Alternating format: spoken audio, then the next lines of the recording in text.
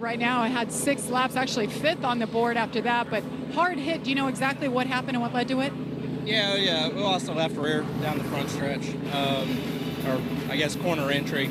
Started picking a vibration, tried to slow down, didn't get knocked down in time. So uh, it's pretty big shame uh, for our Castrol GTX Mustang to be sitting on records like that. So we haven't gotten it back to the garage to see how bad it is, but we have the backup behind us, obviously ready. And no, it's uh, going to be a long night. It's unfortunate. I didn't even. It's the first time I've seen the speed chart, and uh, it felt pretty decent. You know, guys did a good job. So a lot of work to do now to, to get ready, but we got good people. We'll get a turned around. We'll be ready for the race.